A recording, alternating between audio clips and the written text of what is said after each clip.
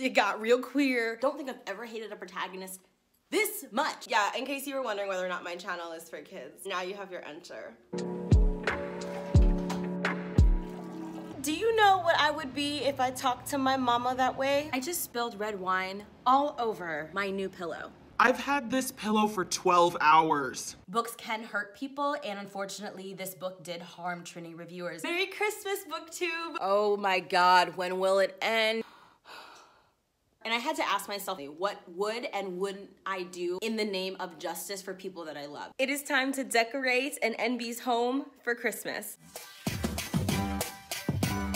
Because I'm an overachiever, while I started decorating, the decorating process, I then decided I wanted to completely redesign my apartment. I've already moved some stuff around, but I wanna give you kind of an update on what I'm thinking. So this is my Christmas tree. I am either gonna put the Christmas tree right underneath that Targaryen flag. I just moved my bookshelf to have it be kitty corner. I'm in the process of taking out a bunch of books, putting the books that I have already kind of read or just don't want to display in my closet. There's also a chance I might put my Christmas tree in that corner. But yeah, my big project for now is taking out all of these books. Then I'm going to decorate my TBR shelf for Christmas and put up my tree. This TV was previously right here I decided to move it over there. This couch is where my TV currently is. Yeah, so my apartment is a disaster right now, but I will get it figured out.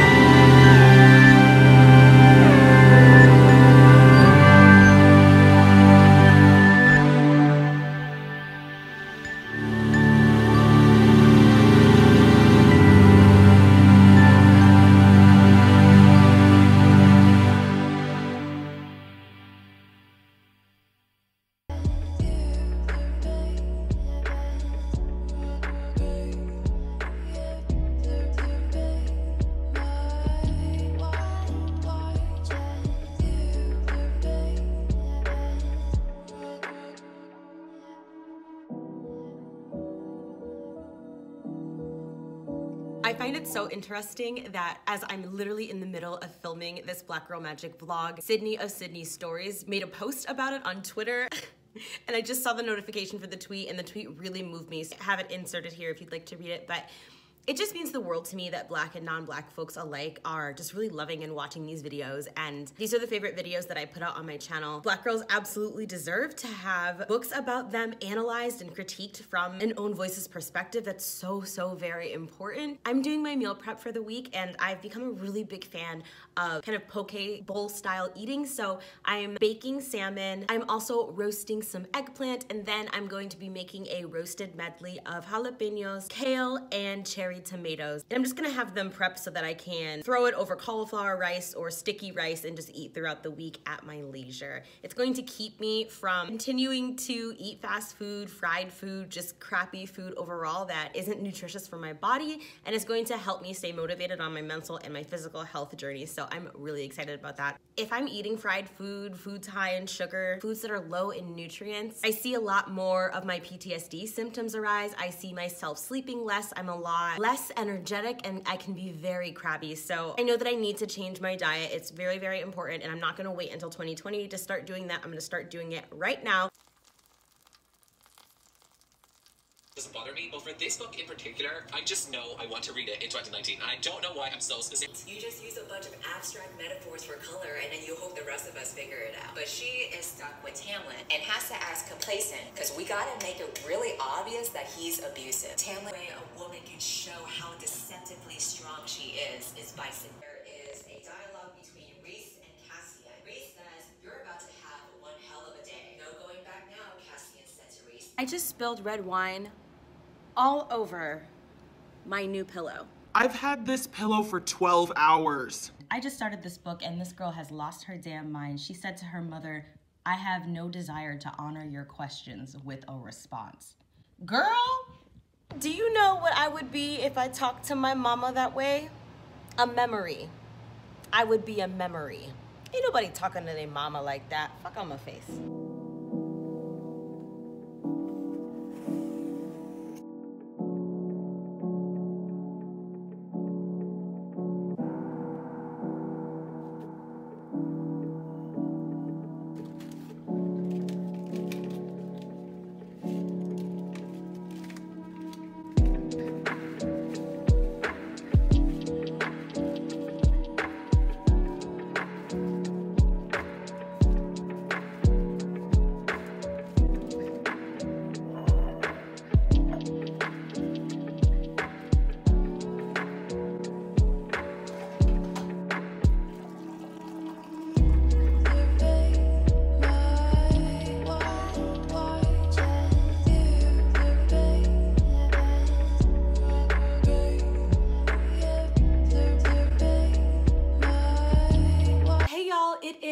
Friday, December 6th, and I couldn't be more excited. I have today off from work to just read and celebrate Black Girl Magic. I have been running around nonstop all week between filming. Yesterday, I filmed two videos. It was like an hour and a half each of raw footage. It took me literally all night to get that video edited and uploaded and rendered and all of that fun stuff and now it's live and it was my November Sipsby unboxing slash booktube awards nomination round one and I am so excited that the video is out so if you haven't watched it please please please give it a watch it would mean the absolute world to me. I honestly think I really needed a lazy day at home, just being cocooned in with my books and my tea. And I'm so freaking excited that I have that. Um, I have a friend coming over later. They are coming over because I pressed a button on my remote for my Bluetooth speaker and now I can't get audio. And it's been three weeks that I've been trying to fuss around and figure out how to make audio work on my Bluetooth again.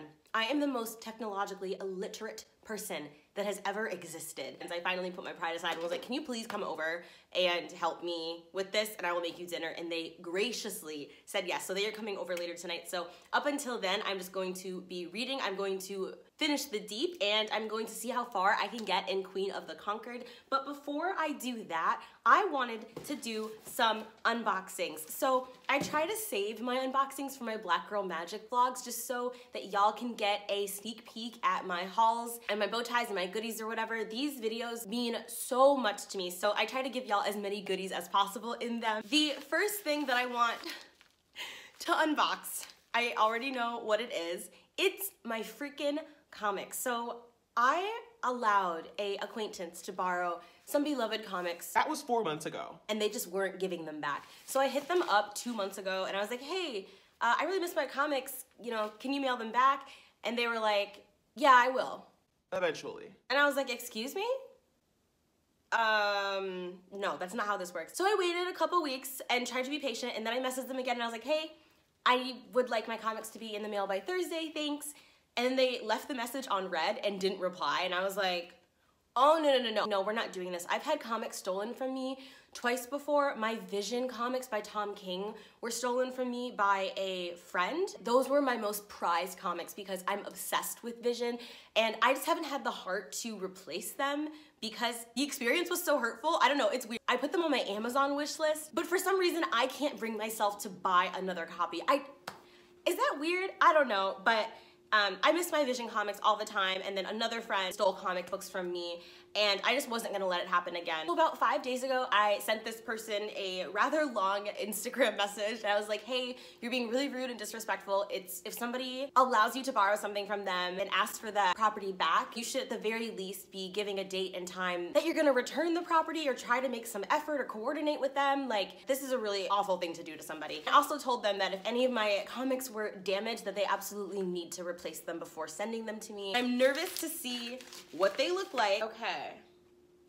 So my Saga Volume 1 was returned and it looks it looks good. I'm not mad about this. First issue of Snot Girl. My first issue of Kim and Kim. This is one of my favorite comics of all time. It is super queer. It involves bounty hunters. It is Latinx. It's amazing. And one of my most prized comic book possessions, Monstrous by Marjorie Liu, illustrated by Sana Takeda. I've talked about this comic so very much. So if you Um, why is there water damage on this? this is and then the bottom of it has water damage. So it looks like i'm gonna have to be replacing this but at least i have it back you know that's oh my god. If you borrow comics from somebody please treat them with respect. If you borrow something from someone please return it in an expeditious respectful manner like I will never, as long as I live, I will never let somebody borrow another comic book from me. That's that ship has sailed. Whatever. I'm just honestly, I'm just glad that they're home. I honestly have no idea what this is. I forgot for Black Friday that I ordered a vibrator. Company also sent me this aphrodisiac and pheromone infused scented massage oil. Look, I have no sex life. Okay, so it's about to be me, myself, and I. But in case you're wondering what I got, this is the Satisfier 2 Next Generation. Moving on. yeah, in case you were wondering whether or not my channel is for kids. Now you have your answer. This next box is a huge chunky monkey sent to me by Simon and Schuster in celebration of Blackathon. Blackathon is a readathon that I host with Francina Simone and Lauren from the novel Lush. We hosted the first and only Blackathon last February and it was all through the month of February a time for reading books that center black characters. The response for Blackathon was bigger and better than I ever expected. You're gonna see a haul for this in February where I'm gonna give complete synopses, but I wanted to give my Black Girl Magic viewers a sneak peek. So the first book that I have here is called Jazz Owls. This book is by Margarita Engle, and it says it's a novel of the Zoot Suits riots. I don't know anything about that. I don't know much about zoot suits, I'm not gonna lie, although I've always been, y'all know I love dapper fashion, so I love photos of people wearing zoot suits. I should start a zoot suit photography wall. That would be really, really dope. A lot of us really love the jazz age for the fashion and the music. I'm really excited about reading this book and just look at the cover. Oh, this is something I would get tattooed. Okay, do you see this little illustration? Ignore my bad nails. But the next book that I have is Reaching for the Moon, the autobiography of NASA mathematician Katherine Johnson. I really want to read Hidden Figures. This book is going to go along perfectly with that book. I know that this book is gonna mean the world to some nerdy black girl somewhere, and I'm just, I can't wait to read it. Then we have a book that was one of my most anticipated releases of the year, and that is Sulwe by Lupita Nyong'o. I have been waiting for this book for so long, and I'm freaking out that Simon and Schuster sent it to me. Ooh, is there a note in here? Yes, there is a note in here.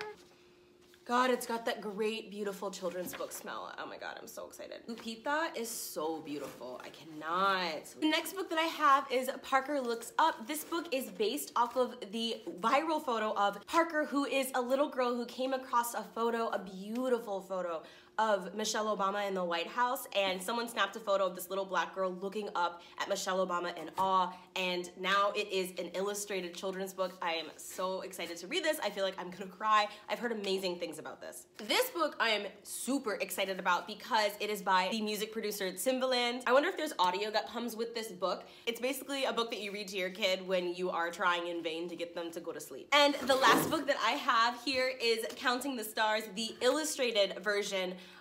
of Katherine Johnson's memoir. These books are all gonna go on display in my home. I love children's literature and one thing that I really, really want in my home someday is rows and rows and shelves of children's lit books. I do have one more box here. This was sent to me by a subscriber who works at a library and this subscriber is named Allison, so huge thank you to Allison. She wanted to have her library participate in Mythathon, which is the mythology readathon that I hosted this fall. Um, and she said that she was was gonna send me some swag and goodies. I have no idea what's in here. I'm so freaking excited. Nothing more satisfying than the sound of a box being ripped open, of wrapping paper being ripped open. Is that a tote? Oh my god! It's a sugar skull um, what is it called? Like a squeezy stress ball. This is perfect because if you've been following my channel, you know that I got a stress cold and suffered an upper respiratory infection that turned into an ear infection because my stress levels were so high. So Wow, thank you. Oh my gosh, I love that. Oh my freaking gosh. Okay, so first of all, there's this really cute little pouch, um, which I love because I'm always losing my sticky tabs that I use to annotate my books with, and I'm always looking for more pouches to stuff sticky tabs in. But more, more importantly, it's stuff with buttons. I'm obsessed with buttons. This is so cool. These buttons are all based off of mythology. Shut the fuck up. This is a Hades button. Oh, it's Oya. Oh my god. I now have a button of the goddess Oya. Y'all remember I cast Lauren from the novel Lush as Oya in the readathon to celebrate the element of air, and I couldn't think of a better person on BookTube to represent Oya. Here is, wow, okay, there it goes. A button for the Parkchester Library. This one says knowledge is power. This button is of the deity Nephthys, whom I'm not familiar with, so if you are familiar with Nephthys in mythology, please let me know down below who this wonderful person is. I feel like I'm wildly undeserving of this amazing box. What the heck? Oh my god. Okay, so Wow. Wow. Okay, so apparently the library made bookmarks showing how to get involved with Mythathon. Pick a god, read one or more themes related to your god, represent your team by asking staff for a team button to wear, attend the final celebration, on October 9th to enjoy refreshments and share what you read with your fellow Mythathon readers. How are you gonna make my readathon better than I made it? That's amazing! Got a flame, read a hot and steamy book. I like that prompt, that one they came up with. Especially if kids are getting involved and using this as an excuse to read more books, that means the world to me tote bag, new tote, who dis? I love tote bags. Totes are also something that I collect. Let me know if you'd like to see a tote bag collection video one day. It's just like full of pencils. Shut up. The pencils say I love my library. Please let them be notebooks. They're notebooks. They're notebooks, they're notebooks, they're notebooks, they're notebooks. This is really cool because I like little notebooks to carry around and make lists in, and I'm always losing the pens that go with them. Oh my God, this is, look at that. This is one of the coolest things I've ever received in my entire life. Wow, I feel wildly undeserving of this. Thank you so much, Allison. More pencils. What was I just saying? I was literally just talking about pouches and Allison sent me a bunch of little pouches. I can put my ID in here, which is great for when I'm traveling. You guys know that I travel a lot. There's headphones in them. Oh my God. There's headphones in these. I feel like this is New York Public Library's way of being like, be fucking quiet, bitches. Is it Christmas? I also received a bunch of these little journals. Well, I was just about to buy a bunch of journals that I can make lists for, lists on and stuff like that, and now I don't need to. This is great because I can jot down like booktube ideas, video concepts, things like that, notes while I'm reading, which will make it easier for me to review my books. I'm so nervous. I feel like I'm already on the verge of tears and this is just gonna put me over the friggin' edge. Jesse, please continue to be a creative, dynamic, inspirational booktuber. Your friends in New York. I talk a lot about impact on this channel, And I think a lot about impact every day, about how the way that you treat people in the grocery store, the looks that you give people, the way that you treat the people in your personal life, the things that you say on the internet have effects. And every day we're creating ripples and we have no idea the extent of these ripples. Once we put something out into the world, whether that's a word, a video, whatever, we have no control or way of knowing how the world is then going to receive it and be affected by it, but everything matters. I remember when I was creating Mythathon, all I wanted was to get people interested in mythology, to educate myself in mythology, to bring a bunch of people together and talk about old stories because those old stories, those old myths, are the reason that we have the stories that we have today. Again, ripples. I just, I can't believe that Mythathon affected people over at the New York Public Library so much that they were willing to send me this, that they were willing to take Mythathon and then impact, you know, kids and adults who participate in their public library. I'm really, really overwhelmed and floored and I, I feel like I don't deserve this. So thank you for being better to me than I feel I deserve. I'm so excited for Mythathon next year in 2020. I am going to be focusing on under-celebrated myths in various cultures of color, and I'm very, very excited about that. I intentionally had round one of Mythathon focus on a lot of Greek mythology because I wanted to get people interested in the concept of Mythathon, and I'm already started planning it. I already um, am coordinating with the hosts. It's going to be a thing on Bookstagram and on BookTube, and I'm hoping it's gonna be a way to kind of marry those very separate parts of the book community, and I'm just, I'm really, really excited. I hope my friends at the New York Public Library like it even better in 2020 than they did in 2019. On that note, if I keep talking, I'm gonna start crying. So I'm going to reheat my tea. Oh, it's still at a good temperature. Um, and I'm gonna get back into some books.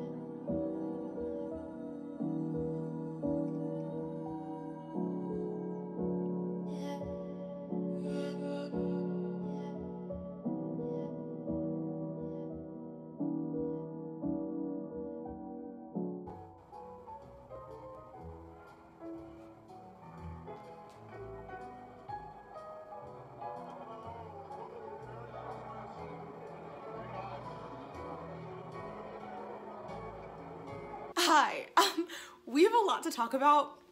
We have a lot to talk about. It is now December 9th. For the last couple days, I have just been watching Christmas movies because I got Disney Plus. Do you ever breathe too quickly and then you aspirate your own saliva and then you have to fight for your life? And my friend did come over and fix my TV, and then we just started watching a bunch of Christmas movies yesterday. And I wanted to show you the present that my friend brought me, and it is Queenie by Candice Carty Williams. This is a Waterstone UK special edition. You can only get this through Waterstones.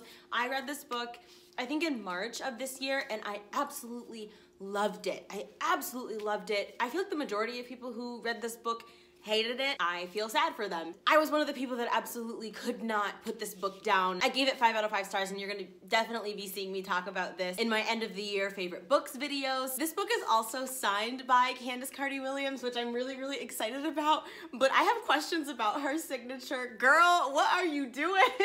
I do have more boxes to open up for y'all, but I think I just need to put unboxings aside because we we we gotta talk about these about these books, dog. I have thoughts. Exactly halfway through this book, and I wanted, I'm devouring this book rapidly, but I wanted to check in with y'all first before I finish the book, just to see if any of my opinions on the first half of the book are changed by the contents in the later half of the book. So I went into this book not knowing anything about it. I did that intentionally. And the synopsis basically, we have a main character named Sigourney, whose family has acquired a lot of wealth and power, and one day her entire family is slaughtered. She escapes very narrowly with her life and then goes into exile. Sigourney has dreamed of absolutely nothing her entire life. I believe that she's now 20 years old. Her entire life, she's dreamed of exacting revenge on those who killed her family. And the world in this story is ruled by the Fjern. The Fjern are pale-skinned people who came to the islands where Sigourney's people lived generations ago and seized power and enslaved the people of the islands. Now, in this world, there exists something called craft, and the Fjern have decided that it is their divine right and their divine right alone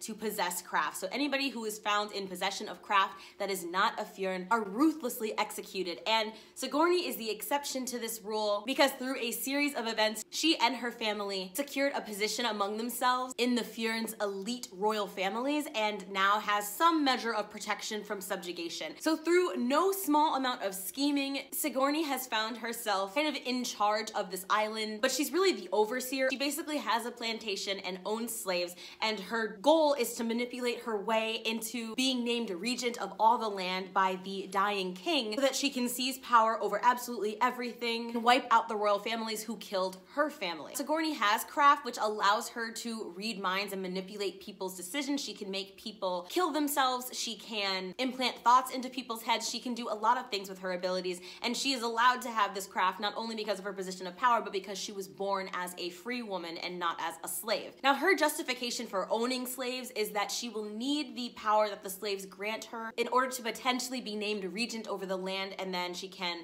her family by killing all of the land's royalty and then ideally liberating all of the slaves. So she's like, it's okay that I own slaves because when I am named queen of everything, I'm gonna free all of the slaves. Okay, so that is the premise of the story. There is absolutely no sparing of discussion of slavery and what happens to slaves. There is major trigger warnings for rape, for violence, for torture, for psychological manipulation, for child death, pretty much all kinds of trigger warnings. There's a lot of gore in this book as well, which definitely caught me off guard. I don't mind gore in my books or violence in my books, especially in my fantasies, but definitely be aware of that going into this book. I'm first gonna talk about the things I really am enjoying about this book before I go into the things I want to rant about because I have a lot, a lot, a lot of ranting to do about this book.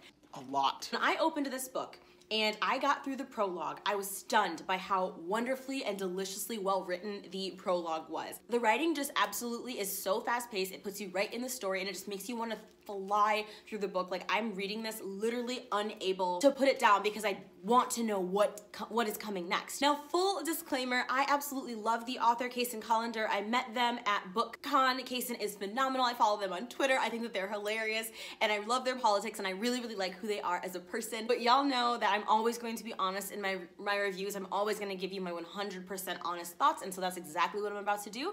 So, um, so anything that I say is absolutely no shade on Kacen as a person because like I said, I absolutely adore them and I'm gonna continue and to follow and support them. One of the things that I love the most about this book is that it is definitely portraying a truly morally ambiguous character. And what I mean by that is a lot of times when we get representation for morally ambiguous characters, those characters are written as so understandable and so almost like barely even a little morally ambiguous and barely even a little evil that it's it's so easy to root for them. Sigourney is not a character like that. You definitely have wildly mixed feelings on the things that she does because on the one hand, she wants to do good things, but on the other hand, she's doing some incredibly awful things incredibly awful. So I appreciate the representation for an actually morally ambiguous character. It's very, very difficult to write a character like that. I love that this book is just literally 1000% a celebration of Caribbean island culture. There's so much focus on water and what water means to the islanders. So much love is put into the description and the climate and the scenery and even things like the fruits that fall off of the trees.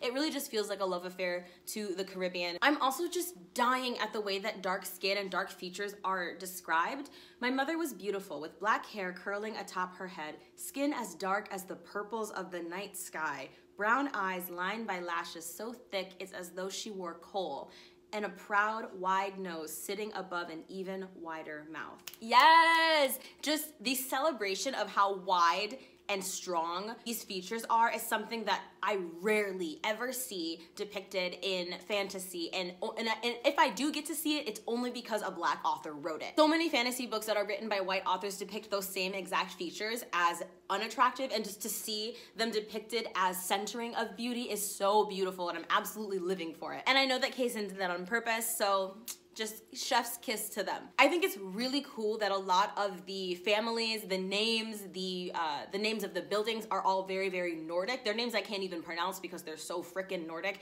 but that's cool to see that in a fantasy. And I wasn't expecting to see that in an Afro-Caribbean fantasy, so I like that two very distinct cultures are put together. I feel like a lot of times our fantasies have very like British European names versus Nordic Icelandic European names, so I just thought that was very new and refreshing. And Kacen inputs a lot of very, very specific messages about slavery and how being a slave impacts the way that you interact with people of your race. How that degradation, the psychological, the physical torture has drastic effects on the people who are suffering it, how it changes their culture, their mindset, the way that they interact with one another. Kacen is doing an amazing job showing the repercussions of slavery for those who are enslaved. There are so many tropes in this book that I personally enjoy, like political intrigue, multiple families vying for one spot, deception, manipulation, power. So those are all the things that I'm really absolutely enjoying about this book. And now we, we need to talk about the things that I...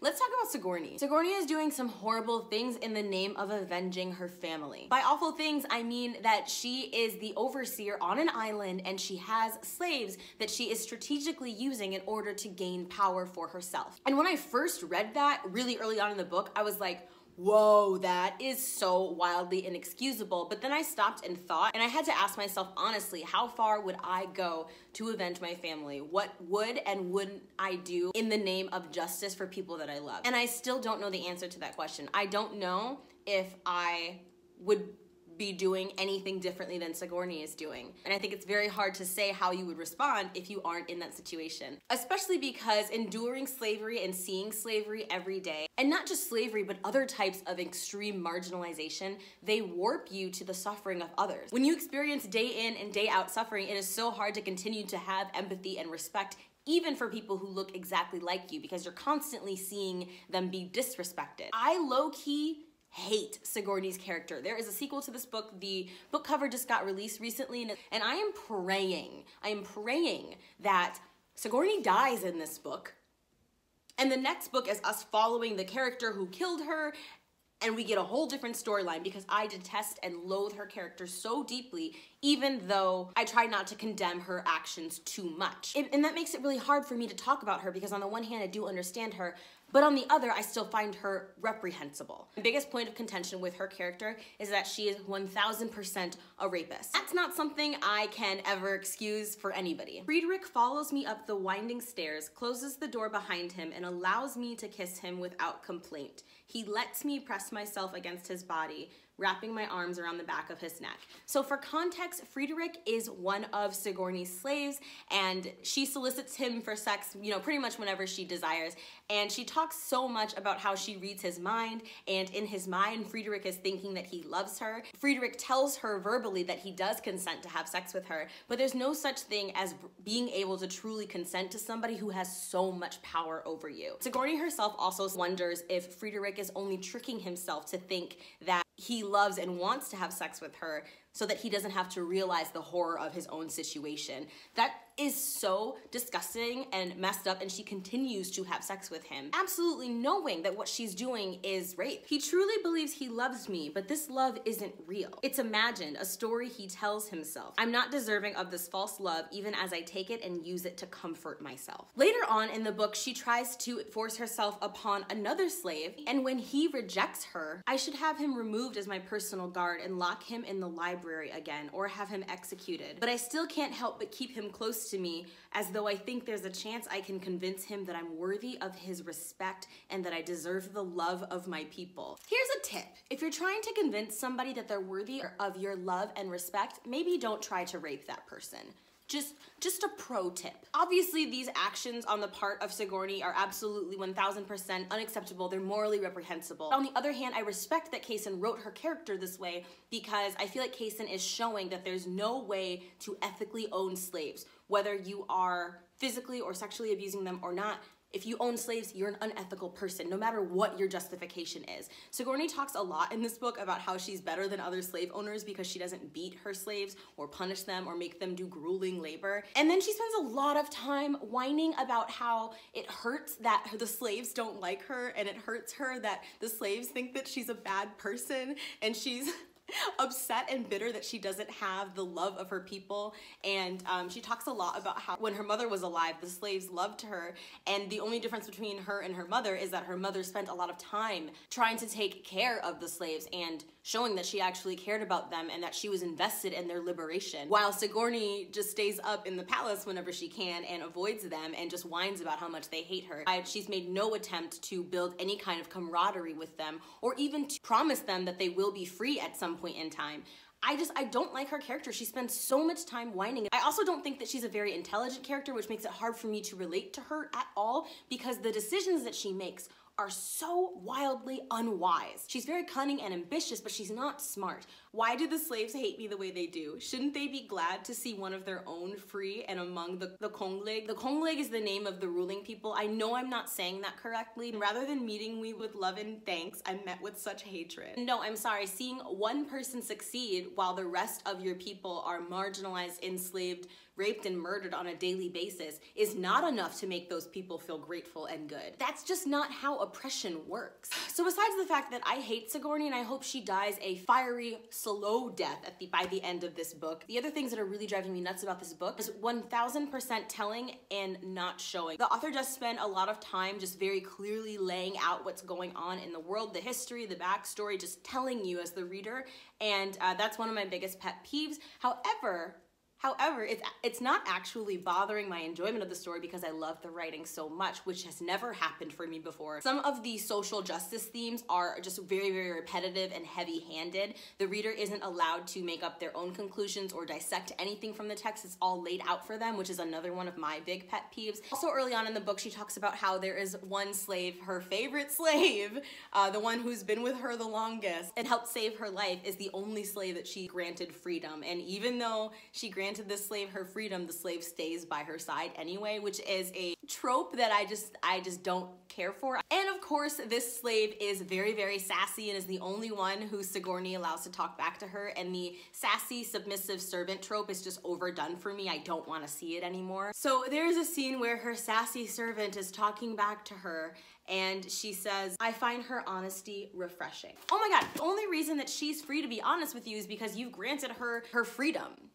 I hate Sigourney as a character. I hate her, I hate her, I hate her. Don't think I've ever hated a protagonist this much. But, but, if by the end of this novel, she does not face real repercussions for her actions, we are gonna have a major problem, a major frickin' problem. Like, I don't mind the fact that her character is written with so many flaws as a person because I think people are flawed. But it will drive me up a wall if she doesn't have if she doesn't face any repercussions for those flaws if she doesn't get punished for the fact that she's a rapist that she's entitled that she's acting like she's the only one of her people that's ever suffered. And what does it mean that you've decided that because your family was killed you were going to keep a bunch of other families oppressed so that you can exact your own grand plan.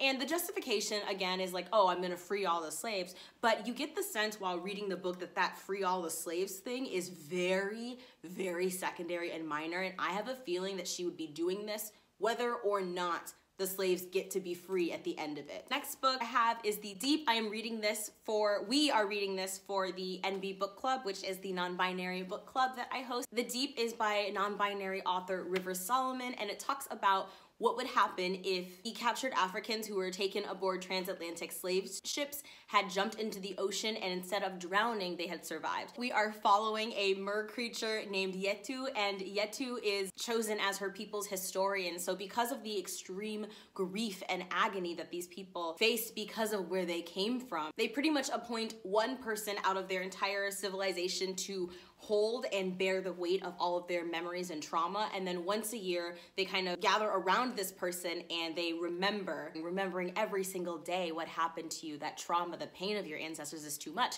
So they force one person to bear it all the time, while the society bears it only one day a year, if that makes any sense. Or I'm absolutely loving the oceanography and ocean science. I love the way that the bodies of the Mer people are crafted. It's just so amazing. Rivers Solomon is excellent at building atmosphere and worlds and culture, and it's just so good. There's really robust disability and autistic rep in the story. It's done in a very casual and seamless and integrated way that I heavily appreciate, but Yetu, our main character, also suffers very, very severe anxiety, depression, PTSD, and self-harm issues.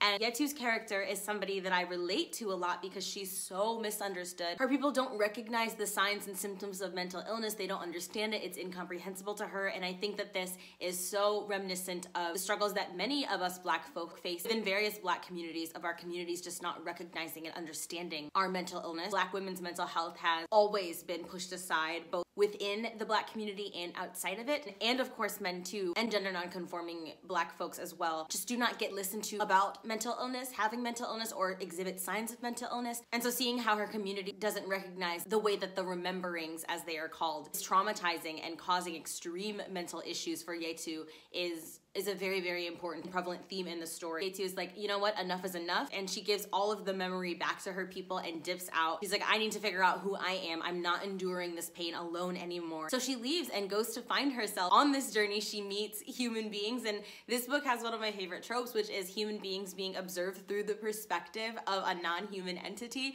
There's something about that trope that is just so funny and sharp and witty. And I just love seeing Yetu be completely confounded as to human behavior behavior and culture and customs. There's also really fantastic non-binary rep in the story. One of the themes that I wanted to talk about is kind of about black trauma porn. Yetu wanted people to remember how she remembered with screams. She had no wish to transform trauma to performance, to parade what she'd come to think of as her own tragedies for entertainment. And there's no way that this line is not a direct commentary on how black people are expected to talk about our trauma. We're expected to be seen in pain and suffering in books and in movies specifically for the pleasure and benefit of white audiences. She later says, Oh, was this pain real? It doesn't even belong to her. Was there anything about her that wasn't a performance for others' gratification? There are just lines like that that really hit me heavy. There's so much to dissect in this book, it's wildly rich. My only issue with this book is that I am not feeling the emotional investment and emotional impact that I should be feeling. I keep reading this book expecting to feel drawn in, to be invested and I just I don't I feel so much disconnect from the story and it and it makes me really really sad because I expected this to be one of my top favorite books of the year. I still have 40 pages left and I've heard the audiobook which is read by Daveed Diggs is incredible. So I'm going to reread the book via audio just to see if I get a different emotional response to it. I'm hoping that something happens in the next 40 pages that will make me feel more connected and invested in the story. And I just don't know what it is that makes me feel so dispassionate about this this tale. So we will see. I am going to go back to reading and watching the Santa Claus. Y'all saw me make pancakes earlier today and I have leftovers, so I'm gonna have pancakes for dinner. I made dark chocolate walnut raspberry pancakes from scratch with crispy bacon and just my whole heart. I'm so nervous because I love both of these authors so much. And also, I have given every single book that I've read for my Black Girl Magic series so far, like 4.5, at, at least four stars, just because I've genuinely enjoyed them that much. Really, really hoping that these books don't mess up my streak, but we'll see. Oh my god, I take back everything that I said about not being interested in the story. It got real queer and real, real sexy, and I'm just like so flustered after reading the scene and the conversation, and it was so angsty and gay, and I'm just, I am invested. I like literally can't put this book down. okay, we go finish this book real quick. Okay, okay, bye.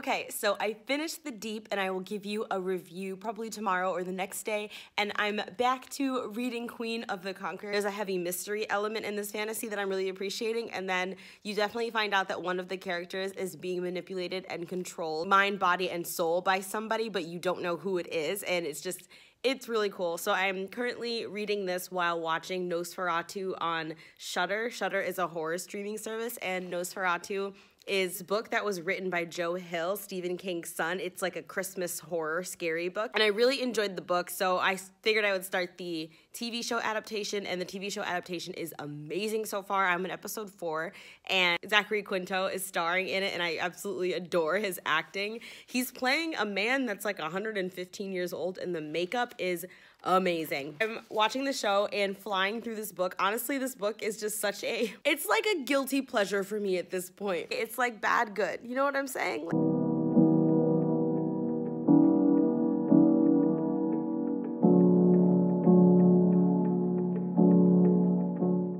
December 10th. I made breakfast oatmeal. I've got bacon simmering in the oven because I'm gonna make bacon roasted Brussels sprouts tonight. And I just wanted to give you guys an update on uh, Queen of the Conquered. So I'm on page 260 of about 350, and I have to say the repetitive writing has really gotten on my nerves. I'm no longer able to look away from it just because I love the writing. Um, it's getting really, really annoying. I'm officially. I'm officially annoyed. Multiple times per chapter, an idea will be stated, and then that same exact idea will be reiterated on the very next page. And here's an example. So on page 260, the king tells his lifelong best friend, Lothar, to leave the room so that he and Sigourney can have a conversation. And Sigourney reads Lothar's mind and sees how confused he is because the king has never had a conversation without Lothar being in the room. He's never dismissed Lothar before. Lothar Nicholson wonders what the king could have to say to me. He and the king have always discussed their tactics and plans, and then she goes off pretty much for the entire page about how close he and the king are. Then on the next page, they kind of resume back to the present conversation, and Lothar still has refused to leave the room. So the king says again, And hey, Lothar, you gotta get the fuck up out the room. Again, we are taken through another page of memories of how close the king and Lothar are, how they've always been the closest of friends, literally almost word for word, the same information we got on the previous page. And it's just gotten really annoying, and I'm over it. I'm over it. Oh my god, when will it end? I'm on page 274 and I'm just, I'm so over it. A bunch of characters that I don't care about are getting killed and murdered. And I don't even care who's murdering them at this point. I am 100% disinterested in the mystery of what's going on.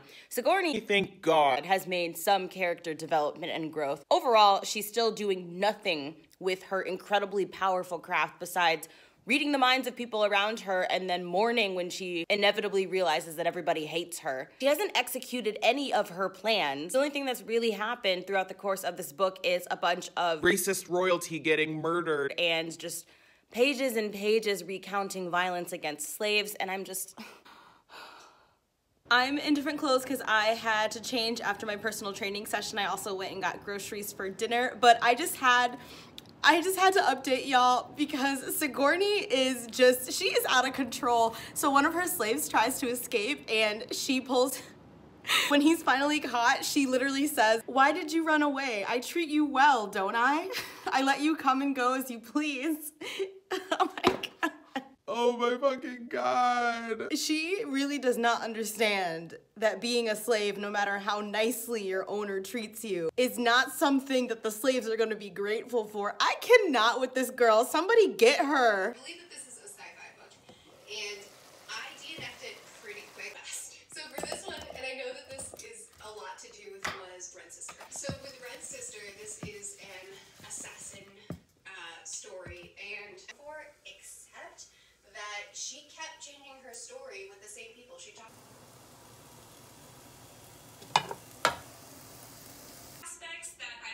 Witch hunters are kind of based off of, and it's to be really, really cool to see the witch herself. I'm in the middle of doing meal prep for the week, so that's why I'm in my kitchen because I'm trying to watch over my things, make sure they don't burn.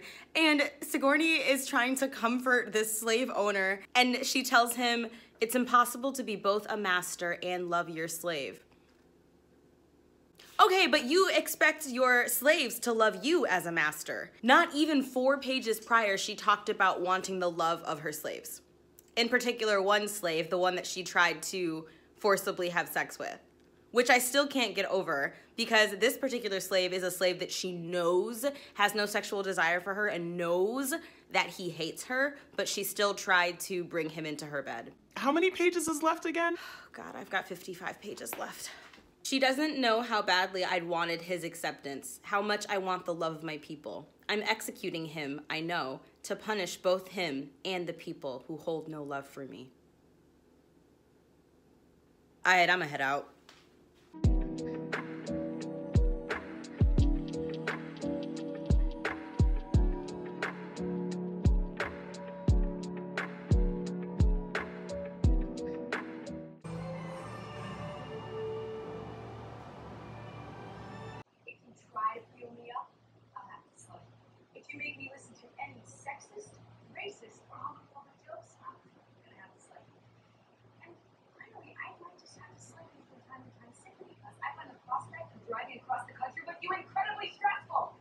Unboxing time. This box is from Amazon. I got a electric kettle so I can stop using my pots. A pack of toothpaste. This was on sale for Black Friday. Whiteboard markers. I'm so excited about these because they have erasers on them and they're magnetized so they can stick right to my whiteboard. Microfiber towels for drying curly and kinky hair. This really awesome thermos because y'all know I'm a really big fan of tea drinking and I really need a thermos. I got it in dark green and emerald because this is my second favorite color. And yeah, this is all of the stuff that I got for Black Friday. I'm gonna use this right now to make some tea.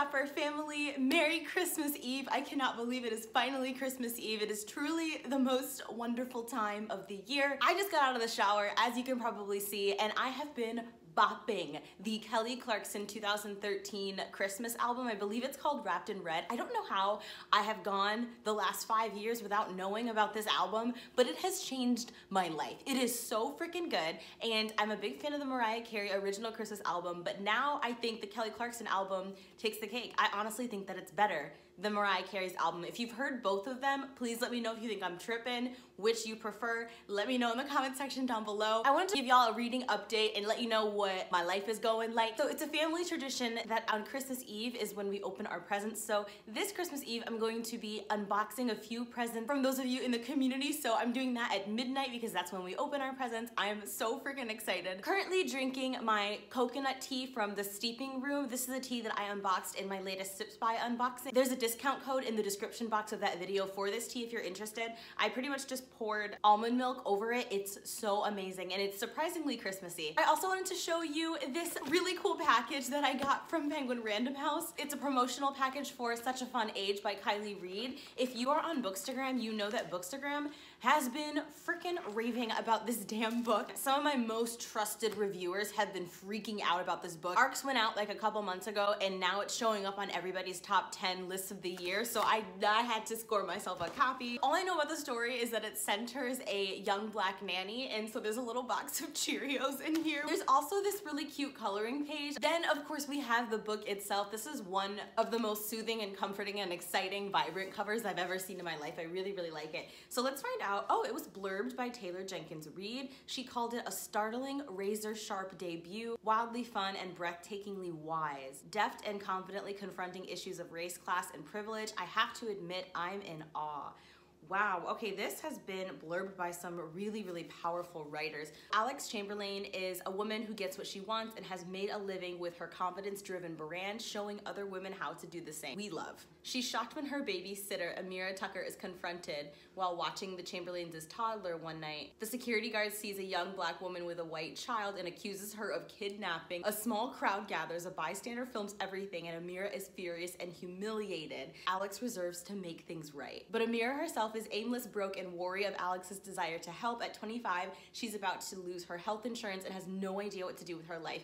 When the video of Emira goes public and unearths someone from Alex's past, both women find themselves on a crash course that will upend everything they think they know about themselves and each other. Empathy and piercing social commentary, Such a Fun Age explores the stickiness of transactional relationships, what it means to make someone family, and the complicated reality of being a grown up. It's a searing debut for our time. Shut the fuck up. That is amazing. So yesterday I started reading The Stars and the Blackness Between Them by Junauda Petrus. I had a lot of errands to do and dishes to wash, so I just popped the audiobook on and the audiobook blew me away. It's narrated by the author. Junauda has this incredible cadence about her voice that just lulls you into the story. It sets the atmosphere. It pulls you right in. As y'all know, this is a Penguin Random House debut about two girls, one from Trinidad and the other from Minneapolis, who fall in love. The Trinidadian girl, Audre, is sent to Minneapolis to live with her estranged father after her mother, her religious, zealous mother catches her kissing her girlfriend. I'm really freaking out about the themes in this book so far. The themes are so well done. We have a really heavy theme of black girls as celestial beings, the importance of the zodiac to black folk. I think a large part of the reason that so many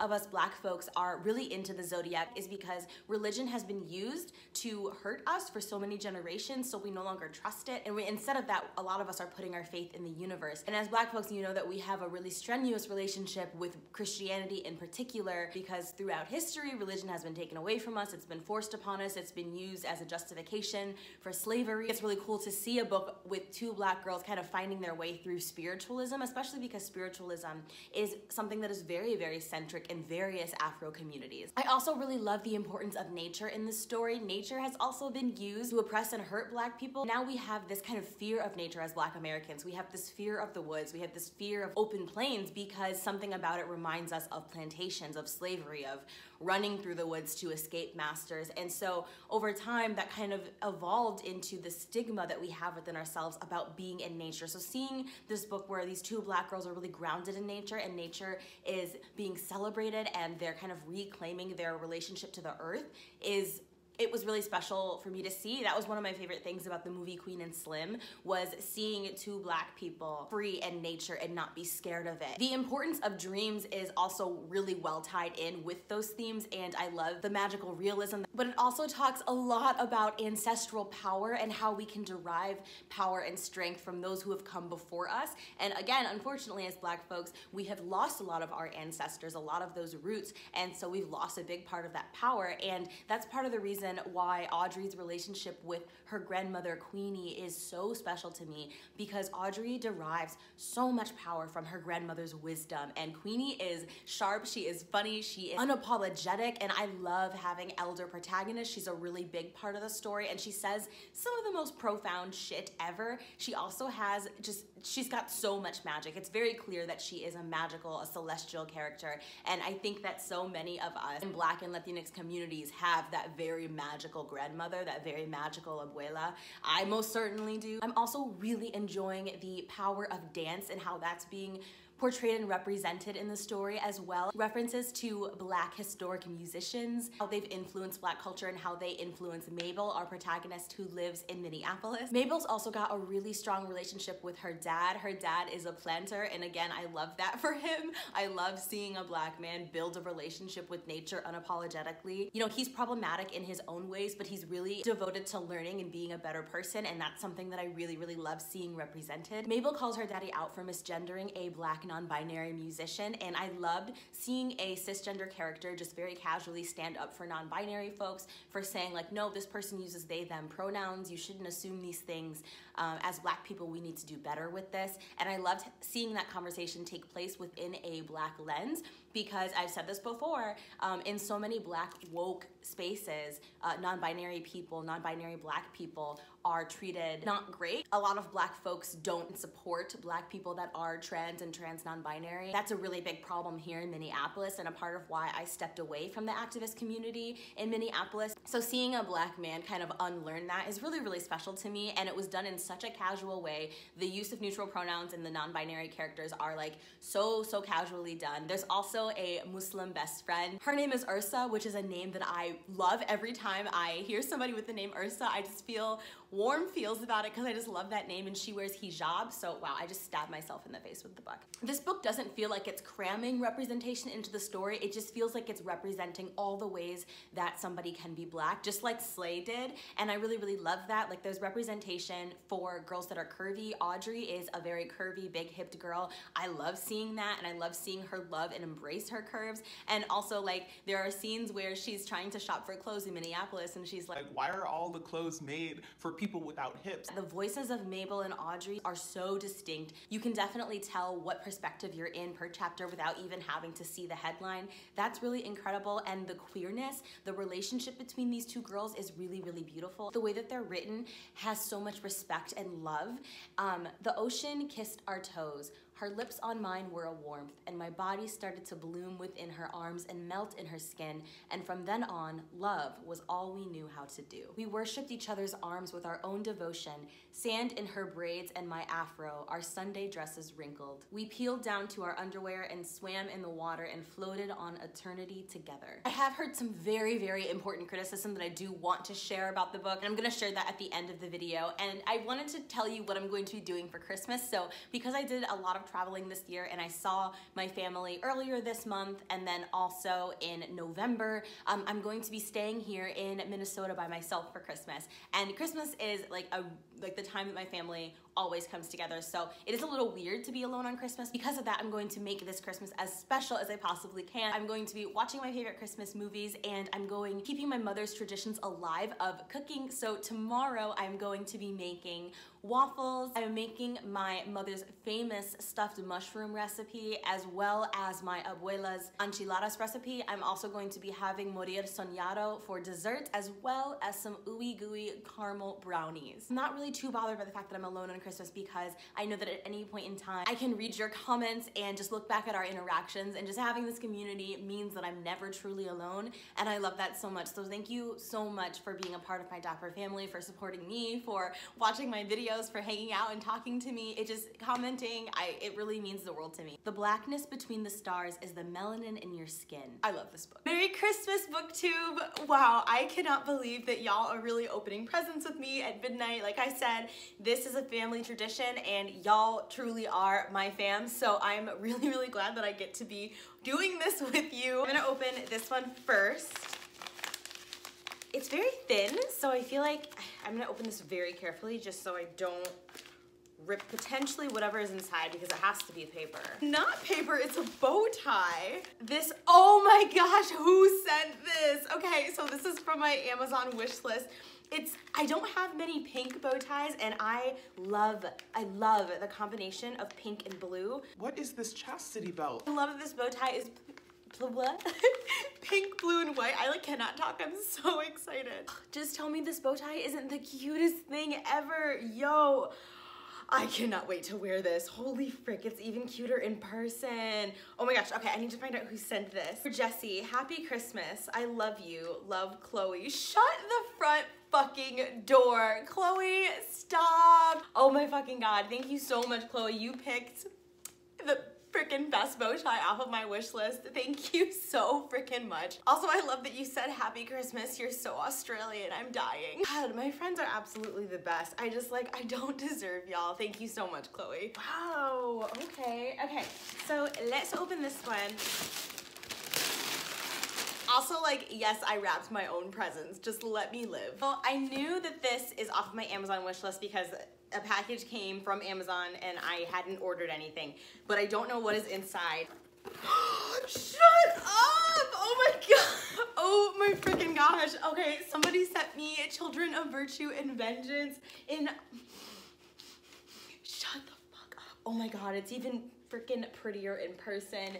Yo, especially with the movie adaptation coming out. Put this on my wish list, even though I haven't read the first one, because y'all said that you wanted me to read and review these books for my Black Girl Magic series. And so I was like, okay, but because I'm worried that I won't like this book because of things that I've heard, so I just put it on my wish list. That way somebody else can buy it for me. And thank you so much, whoever bought this. Who, who did this? Yo, okay, thank you so much, Rachael from Rachael Mer- Oh my Rachael, I cannot. Like, our friendship lights up my freaking life. Thank you so much, Rachael. You always know just what to do to put a smile on my face, whether that's like a kind word or a gift. You always know what to do. I cannot wait to read this book.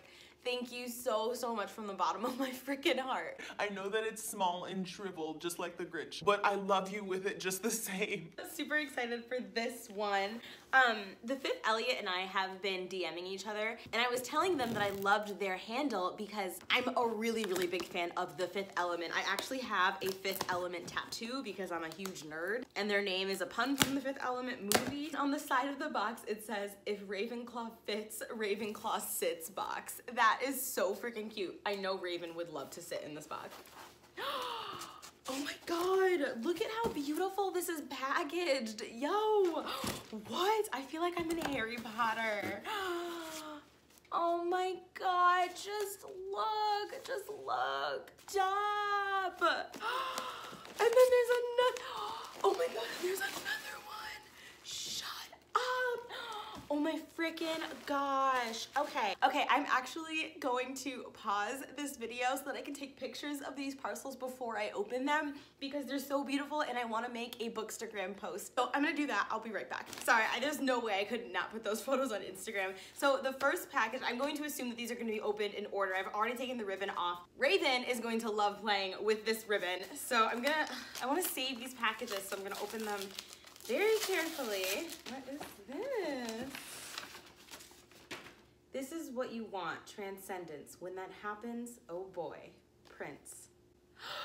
Oh my God, shut up. Oh my God.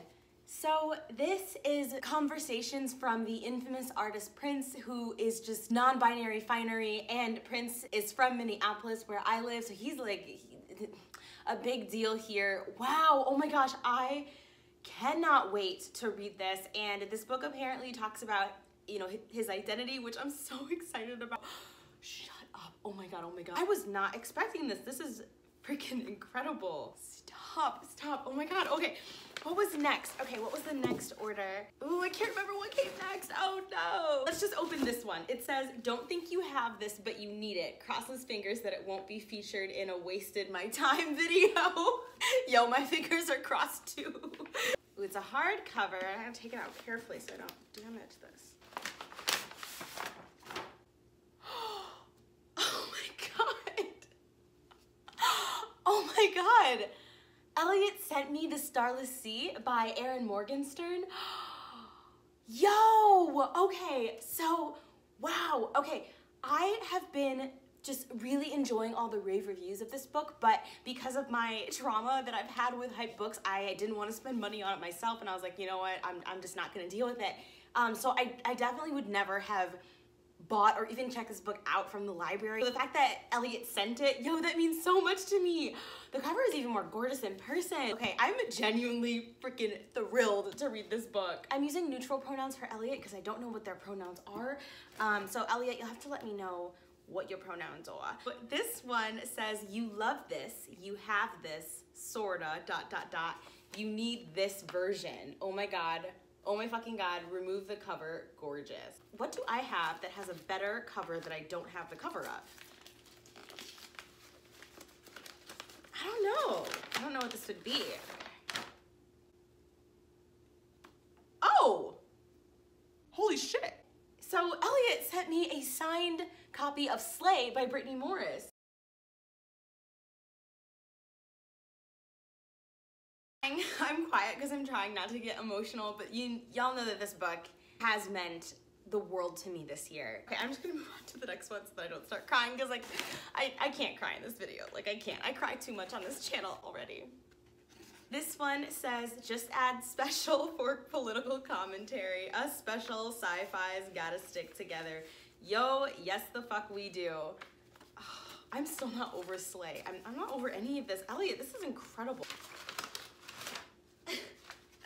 How to Write a Novel Using the Snowflake Method by Randy Ingermanson. I have a feeling that Eliot sent this to me because I have talked about the fact that I want to author a book. So this is like the most perfect gift that I could receive for Christmas, especially because this book was not even on my radar, so huge thank you. Oh my god, I'm so freaking stoked about this. Okay, one of my favorite types of gifts to receive are the kinds of gifts that I didn't know that I needed. You know, that's probably my favorite type of gift. So this is, this is killer. Oh, look at this ribbon.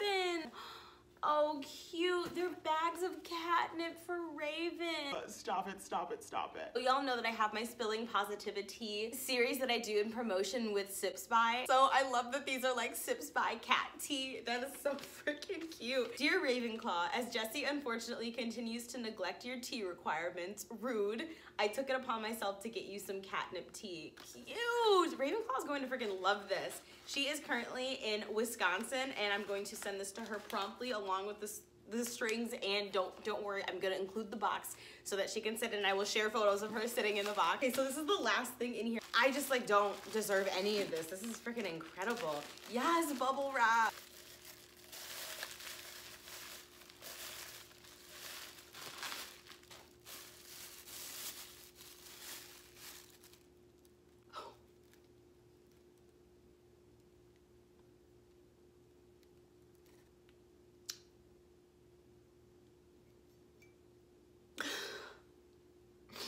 This is a mug that says, I'm Jesse's tea, this is Ravenclaw, and it's got a bow tie and it's got Raven on it. And then it says, bow ties and books on the side, my little Instagram. And there's this beautiful quote from Alice Walker's The Color Purple.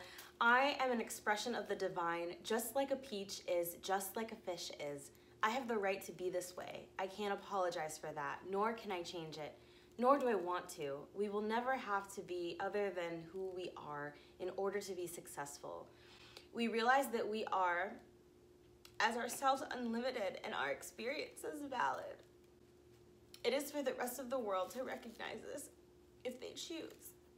Don't think it has gone unnoticed that the colors from the non-binary flag are used on here. And I think it's really dope that there's an Alice Walker quote on this and I'm reading this in my black girl.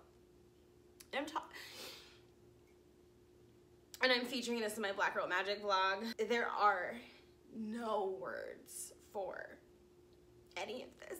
And the last present I'm going to open is from my beloved Starlah. Starlah who has been my light throughout 2019. Starlah who is one of the most important people in my life. Starlah who is divine and brilliant and intelligent and beautiful and the best thing to come out of me having a booktube channel.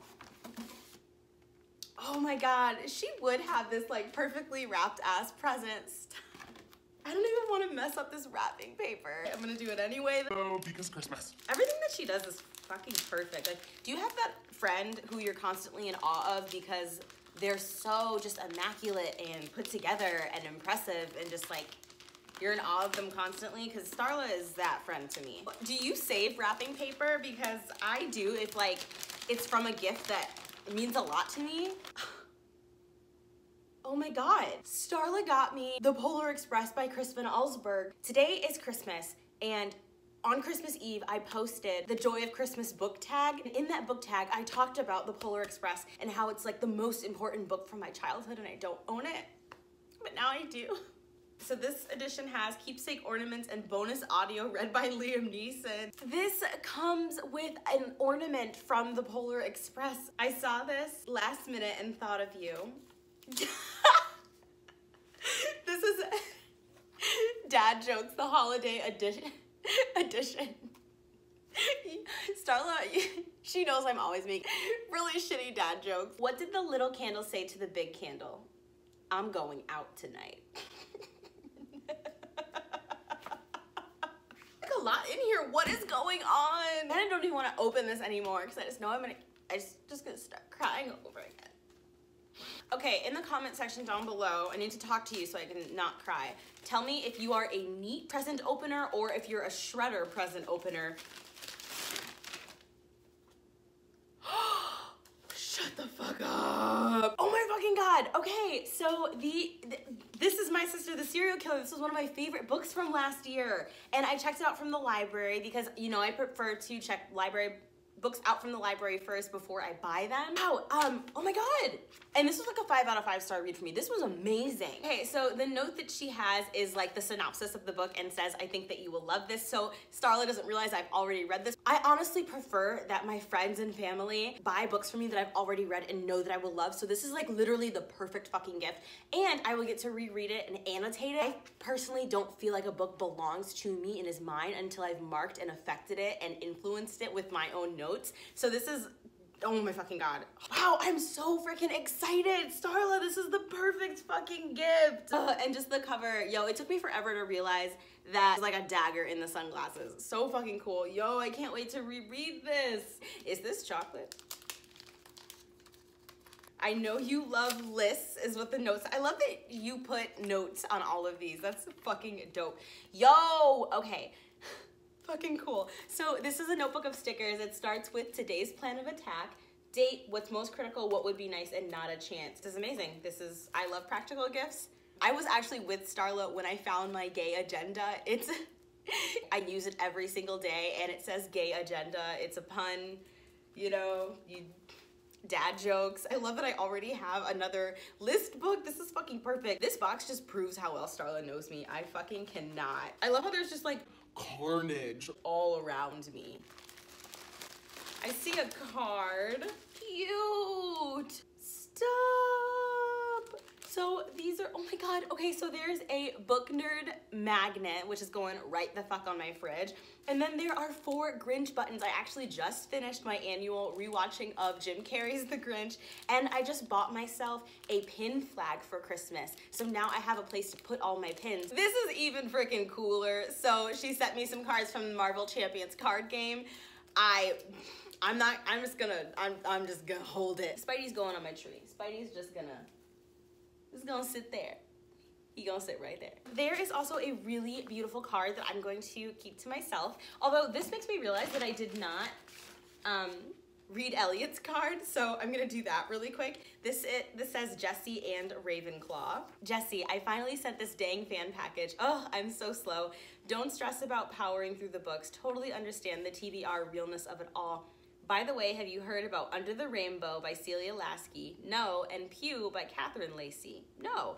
Both of these come out in 2020. They sound bow tie approved. In fact, one of the covers features a bow tie. Sold. Um, by the time you get this, I should have my first booktube video chat up that I won't delete in terror shortly after uploading. This will be attempt number three. Ugh, oh my god. Yo, starting on booktube can be so intimidating. Like, don't even don't even stress yourself. I can't wait to watch your chat, Eliot.